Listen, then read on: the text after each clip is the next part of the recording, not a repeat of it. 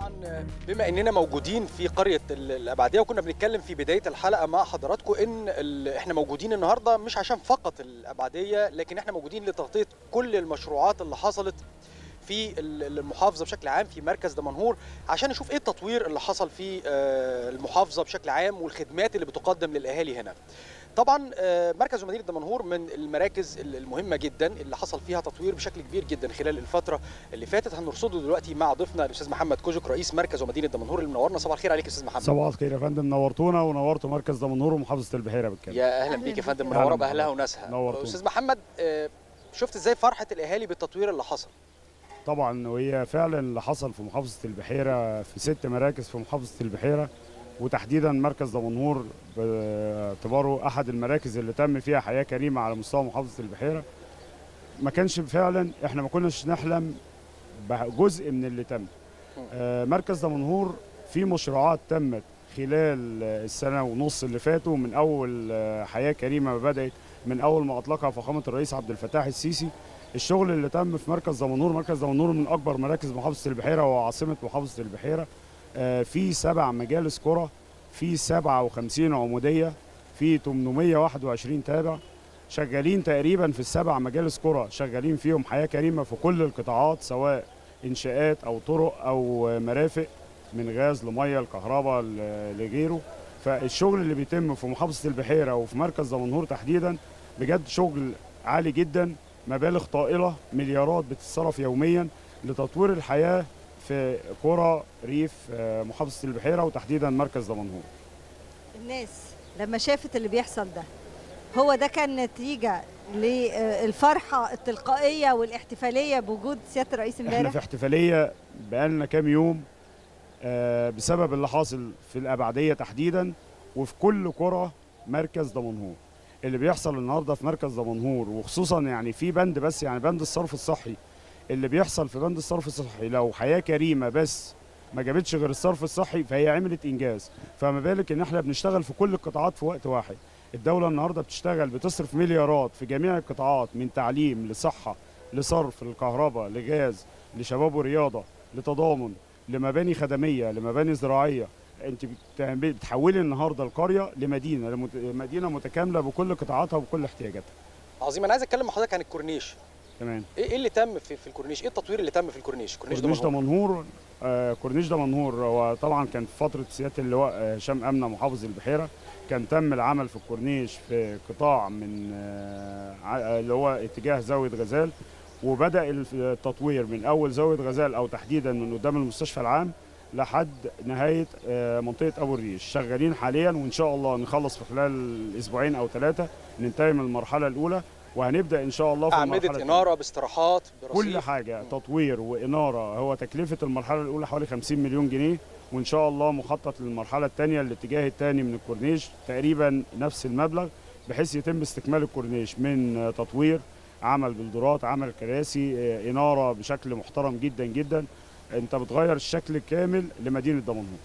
طيب حضرتك بتتح... يعني بتتعامل يوميا مع الأهالي في قرية الأبعدية أكيد. و آه، يعني لما يجوا يتكلموا معاك ويقولوا لك إحنا كان فارق معانا قوي واحد اتنين تلاتة. قول لي كده واحد اتنين تلاتة من الحاجات اللي الناس قالت لك إنها فارق معاها في الحاجات اللي هي اللي كانت فارقة هنا جدا إن ما كانش عندهم مكتب بريد ما كانش عندهم سجل مدني ما كانش عندهم بريد. هو يمكن البريد كان موجود هنا بس من فترة قريبة. آه، سجل مدني ما كانش آه، مكتب تموين. في حاجات كتير من المرافق ما كانتش متوفرة هنا. وحدة طب الأسرة اللي اتعملت هنا النهارده هتغنيهم إن هم يروحوا المدينة للمستشفى العام. آه، سجل مدني مش محتاج إن هو يروح مديرية الأمن أو ينزل المدينة. لا، الحاجات اللي اتعملت كلها النهارده أي مواطن في الابعديه مش محتاج إن هو المدينة في أي شيء. كل احتياجاته متوفرة داخل القرية بتاعته. من مدارس آه، سجل مدني شهر عقاري بريد مكتب تموين مجمع الخدمات فيه سبع أنشطة. شغالين وحدة محلية متكاملة فيها مركز تكنولوجي بيقدم كل المرافق والاحتياجات أو كل الخدمات اللي بتوفرها الدولة من خلال البوابة الإلكترونية للحكومة. فلا متوفر كل الخدمات المتعلقة بالمواطن من الألف للياء داخل القرية نفسها مش محتاج إن هو يجي للمدينة في شيء. طيب طبيعة التعاون ما بين مركز ومدينة دمنهور ومؤسسة حياة كريمة إزاي قدمت لهم تسهيلات؟ التواصل كان عامل إزاي؟ إحنا تقريبا متواصلين بشكل يومي. يعني في قوافل كتير اتعملت في توزيع آه، كراتين لمؤسسة حياة كريمة. حياة كريمة بتشرف معانا على الإنشاءات اللي بتتم آه، بتاعة تنفيذ مبادرة السيد الرئيس اللي هي حياة كريمة من الألف للياء. بيتعمل قوافل طبية وقوافل اجتماعية مع الأهالي بينزلوا ويتعمل تثقيف للأهالي بالمشاركة ما بيننا. اتعمل قوافل لزراعة الأشجار خصوصا الأشجار المثمرة. لا إحنا على تواصل تقريبا بشبه يومي في مع مؤسسة حياة كريمة. وهم ناس متعاونين جدا.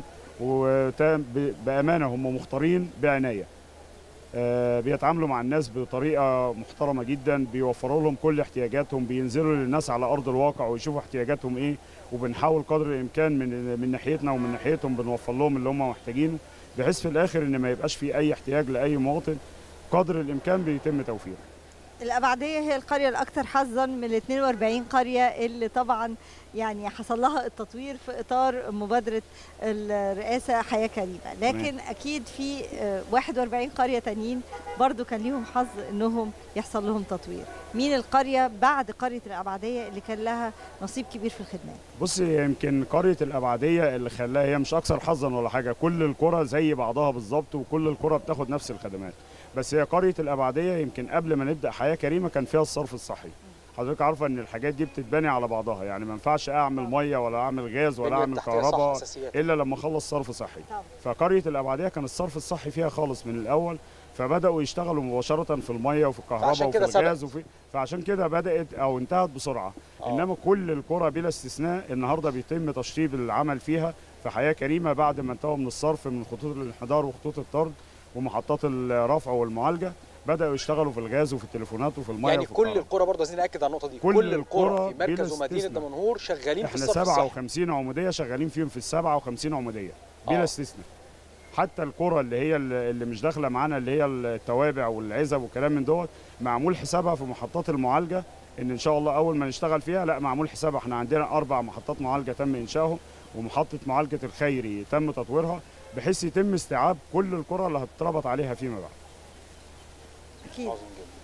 طيب، لو جينا قلنا بقى بعد كده غير إن إحنا اتكلمنا مع الأهالي وزي ما إحنا شفنا من بداية الحلقة الأهالي كلهم كانوا سعداء وكان في فرحة تلقائية كده بوجود سيادة الرئيس عبد. الفتاح السيسي. طبعا. وأعتقد إن ده ظهر بشكل كبير جدا. سابقه ما حصلتش.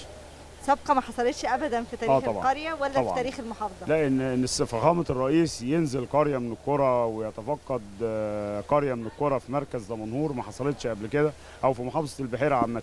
يمكن كان آخر زيارة لمحافظة البحيرة الرئيس كان السيد رئيس آه، محمد حسني مبارك رحمة الله عليه كانت لرشيد كانت 2010 تقريبا. إنما الرئيس النهارده امبارح نزل والأهالي كانوا مقابلينه بحفاوة كبيرة جدا جدا جدا. يمكن كانوا من الفجر أو بعد الفجر وهم قاعدين منتظرين قدومه. وكانوا واقفين في الشوارع آه، بالكامل من حتى فخامة الرئيس لما نزل على المباني آه، مر عليها وخد ال- الطريق بالكامل مشيا على الأقدام آه، ما ركبش ال- العربيات ولا الركاب كان موجود هنا خد من اول ده. المركز التكنولوجي لحد المجمع الخدمات الزراعية بالكامل مشيا على الأقدام وكان بيسلم على المواطنين والمواطنين كانوا فعلا يعني كان ناقص عليهم يشيلوهم من على الأرض. لأن اللي عمله بجد ما كناش نحلم بيه. إحنا عظيم كان اقصى حلم عندنا كل سنة في الخطة الاستثمارية ان إحنا نحط مشروع من إحنا بننفذ النهارده في مدينة دمنهور لوحدها ما يقرب من 900 مشروع تحديدا آه، حوالي 650 مشروع بيتنفذوا. إحنا كنا لما بنحط في الخطة الاستثمارية مشروع أو اتنين منهم إحنا كنا بنبقى عملنا انجاز في الخطط الاستثمارية. فما بالك النهارده انت بتشتغلي في حوالي 600 مشروع في وقت واحد وفي نفس الوقت الدولة بتدينا الخطة الاستثمارية للمدينة. يعني ده إحنا مش بنتكلم في حياة كريمة بس ده الفلوس اللي كانت بتتوزع على القرى لا النهارده بقت على قد المدينة. فبعد ما كنا بنعمل شارع أو اتنين في المدينة بنطورهم كل سنة إحنا النهارده بنشا- بنطور حوالي 20 شارع في المدينة. فهي حياة كريمة مدينة وقرى. طيب أستاذ محمد من خلال لقاءاتنا مع الناس سواء النهارده أو في جولة كاميرا صباح الخير يا مصر في الأبعدية الناس مبسوطة. تمام. والناس حاسة إن في حاجة بالفعل حصلت في قريتهم واللي عاجبني أكتر إن عندهم درجة عالية جدا من الوعي في فعلا. الحفاظ على ما تم بناؤه فعلا. فازاي نستغل حالة الوعي اللي عند الناس وأنتوا بمساعدتكم لأن أنتوا برضو مسؤولين عن الحفاظ على المكتسبات اللي حصلت أكيد،. فهل أكيد هيكون طبعاً. في جولات ميدانية حملات توعية للأهالي للحفاظ على ما تم حتى هذه اللحظة بيتم فعلا وده بيتم بمشاركة مع مؤسسة حياة كريمة. بتعمل لقاءات كتير مع الأهالي وعلى فكرة يمكن في ميزة جميلة جدا في مبادرة حياة كريمة إن زي فخامة الرئيس ما قال امبارح الدولة والرئيس مش هيعمل حاجة لوحده. عايز تعمل لازم المجتمع يشاركك. عشان تقدر تحافظ على المكتسبات لازم المجتمع يساعدك. إحنا يمكن أول المبادرة ما بدأت كان في لقاءات كتير جدا جدا مع المواطنين وفي قطع أراضي كتير من اللي تم تنفيذ مشروعات عليها تبرع من الأهالي نتيجة وعيهم باحتياجهم لبعض المرافق. آه، اتعمل لقاءات مع الوحدات المحلية اتعمل لقاءات كتير جدا مع مؤسسة حياة كريمة. كان منها لقاءات داخل القرى ومنها لقاءات مجمعة في المدينة نفسها مع بعض المواطنين لا الناس عندها وعي وعندها إدراك للي الدولة بتعمله وإن شاء الله إن شاء الله يعني أتوقع إن هيتم المحافظة بل وتعظيم اللي بيتم النهارده. إحنا من شوية كده كان قاعد معانا عم إبراهيم حبيب واحد من أهالي القرية وكان بيقول إن حياة كريمة عدت من هنا. لو ينفع يتقال الجملة دي. كان بيقول إن الشارع اللي إحنا قاعدين فيه واللي إحنا بنصور فيه دلوقتي ده كان فيه ترعة ما كانش فيه شارع ولا كان فيه حتة مرصوفة لا ده كان فيه ترعة. تمام. إيه، فرق الرهيب بتاع إن إحنا شايفين شارع أسفلتي ممهد واصل له مرافق كاملة من ترعة ما كانتش نظيفة وكانت ناقلة للأمراض والحشرات. أعتقد ده فرق قوي في حياة رهيب. الناس اللي قاعدة كانت بت بتشوف منظر غير حضاري وغير صحي بالنسبة لها. فندم الفرق ما بين اللي بيحصل النهارده واللي كان موجود آه، زمان عايزه تحس بيه فعلا انزلي القرى اللي لسه ما بدأتش مبادرة حياة كريمة فيها. انت أقصى زي ما بقول لحضرتك أقصى حلم الناس بتحلمه في القرى اللي لسه حياة كريمة ما بدأتش فيها أو قرى قبل فخامة الرئيس آه، آه، عبد الفتاح السيسي ما يطلق مبادرة حياة كريمة. كان أقصى حلم يحلموه إن يبقى عندهم مشروع صرف صحي. كان الأهالي بيجمعوا من بعض ويعملوا مشروعات عشوائية. وفي الذاتي الآخر آه. كانت بتصب في مصارف وبتصب في ترع في بعض الأحيان. وده كان بيعود علينا بالأمراض وعلى أولادنا وعلى أولادهم. وكل شوية مشروع الصرف فيه مشاكل و فأنت النهارده لأ بالعكس ده أنت النهارده وفرت لهم حياة آدمية محترمة. عملت قرية تضاهي أو قرى تضاهي أعظم قرى على مستوى العالم كله مش على مستوى مصر بحالها فلأ ال- الوضع اختلف اختلف تماما. وعشان كده إحنا دايما لما بنقول إن في خطة ففي خطة إحنا شغالين في كل المشروعات بالتوازي. يعني. حضرتك قلت دلوقتي مثلا إن إحنا موضوع آه، الترع وقد إيه موضوع الترع ده كان ناقل للأمراض. وفي نفس الوقت شغالين في القطاع الصحي. وبنخفف الضغط على القطاع الصحي بإننا آه، يا إما بقى هذه الترع تكون صرف مغطى يتم تطهيرها يتم آه، زي ما بنشوف يعني عمال تبطين الترع اللي بتتم في المحافظة. فأعتقد إن كل هذه المشروعات لما بتتم بالتوازي بيؤكد إن إحنا ماشيين بالفعل صح. صح. فعلا. إحنا يمكن كان عندنا مشكلة دايما في إن التخطيط عندنا ضعيف شوية.